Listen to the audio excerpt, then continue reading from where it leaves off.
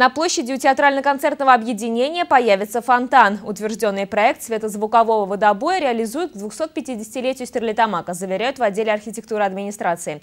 Прежние демонтируют. Фонтан будет плоскостным или сухим, как его еще называют.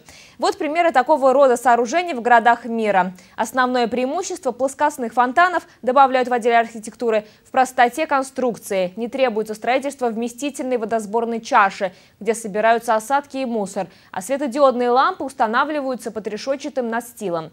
Это ограждает фонтан от вандалов благодаря, наверное, таким вот технологиям и вот такому ему виду, он, естественно, преобразит нашу площадь.